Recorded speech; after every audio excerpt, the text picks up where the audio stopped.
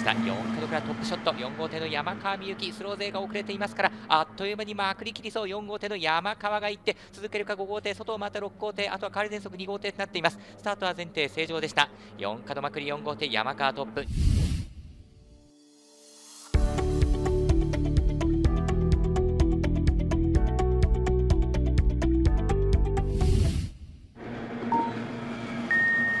した。6号艇少しへこんでいます。後の号艇はほぼ並んでるでしょうか。スリット後覗き還元なのは2号艇中村。まず1号艇が先制。2号艇は差し構えの中村ですが1号艇2号艇逃げ差し争いスタートは前提正常でした。1号艇の脇2号艇中村差し入ってるんでしょうか。さあ先が地君から2号艇1号艇並走と変わっていきました。3番手が3号艇西田。そのうち6号艇橋田。後方5号艇4号艇です。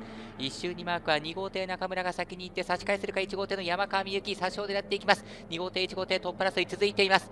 若間5号艇2号艇が膨らんでいます。そして1号艇が内から合わせていくところ。そして後方では5号艇にアクシデント発生。5号艇転覆失格となっています。